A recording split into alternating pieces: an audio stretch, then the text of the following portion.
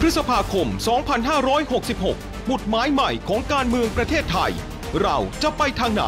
ใครจะมาเป็นรัฐบาล เนชั่นทีวีเปิดเวทีภาคอีสาน ให้นักการเมืองแสดงวิสัยทัศน์ ขับเคลื่อนประเทศ เพื่อการตัดสินใจของประชาชน ใครคือตัวจริงที่ควรได้จัดตั้งรัฐบาลความหวังใหม่ที่คนทั้งประเทศรอคอย พบกันในเวทีสัญจรภาคอีสาน ดีเบต อนาคตประเทศไทย 11 มีนาคม ณ ลานอนุสาวรีย์ท้าวสุรนารี จังหวัดนครราชสีมา กิจกรรมเริ่มเวลา 16 นาฬิกา 30 นาที ถ่ายทอดสด เวลา 18 นาฬิกาถึง 20 นาฬิกา ทางเนชั่นทีวีและเนชั่นออนไลน์นำทีมโดย บากบั่นบุญเลิศ วีระศักดิ์พงศ์อักษร ตัวจริง เรื่องการเมือง และวราวิทย์ ฉิมมณี ร่วมกันชี้ชะตาอนาคตประเทศไปด้วยกัน